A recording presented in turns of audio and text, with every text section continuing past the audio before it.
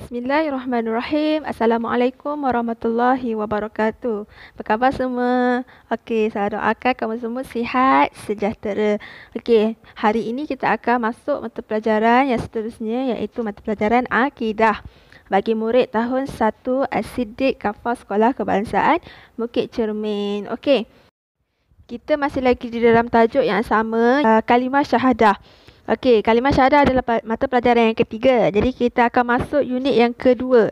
Mata pelajaran ketiga, unit kedua, muka surat 27. Okey, hari ini kita akan masuk kepada keperluan syahadah dalam kehidupan seharian. Okey, kita akan baca dan fahami dulu ciri-ciri orang yang mengucap dua kalimah syahadah.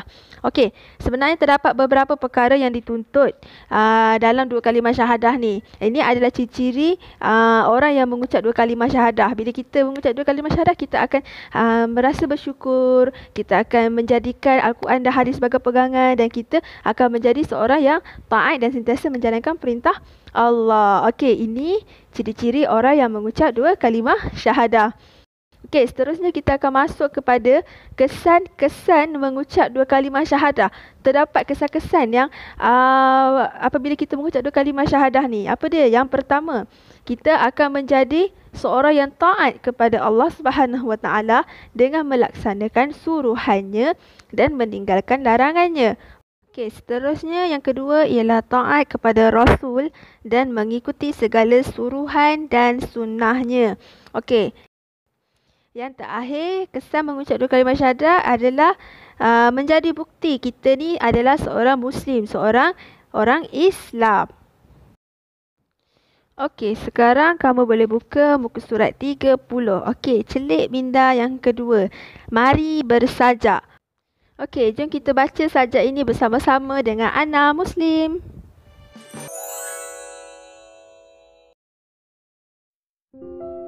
Ashhadu an la ilaha illallah wa ashhadu anna Muhammadan Rasulullah.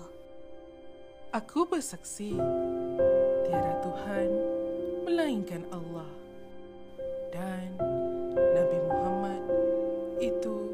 pesuruh Allah. Syahadah penentu Islamnya insan juga penentu ganjarannya syurga atau neraka. Marilah kita mengamalkannya supaya hidup jadi sempurna di akhirat nanti kekal di syurga.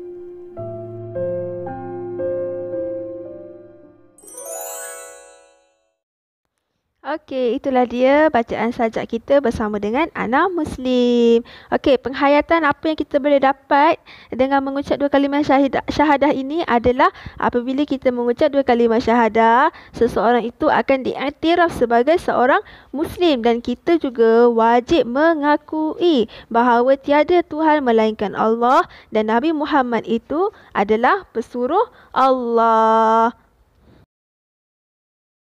Okey, itu sahaja pembelajaran kita pada hari ini.